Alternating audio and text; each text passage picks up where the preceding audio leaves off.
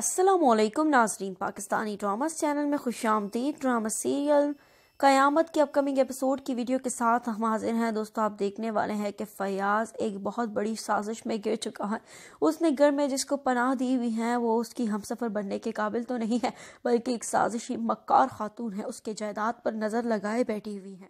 दोस्तों, आप देखने वाले हैं कि वो फयाज को चाय में कुछ खुला कर दे देती हैं, जिसके बाद फयाज मुकम्मल तौर पर नशे में दूध सो जाता है, उसको किसी चीज़ का होश नहीं होता और इस बात का फ़ायदा उठाती हैं। यहाँ पर उसका भाई भी कहता है कि, आपा, कहीं आपने इसको मार तो नहीं दिया? जहाँ पर वो कहती है, मारना इतना आसान नहीं है। अभी तो मैंने सिर्फ़ इसको बेहोश करा है, लेकिन बहुत जल्द इसे मैं आसमान तक पहुँचा दूँगी। ये सारी बातें सुनकर वो कहते हैं कि, बस आपा, काम जल्दी करें और हम इसको बर्दाश्त नहीं कर सकते। दोस्तों, ये सारी बातें सुनकर वो भी कह देती है कि हाँ मैंने काम को तेज़ करना है क्योंकि मैं इसको और बर्दाश्त नहीं करने वाली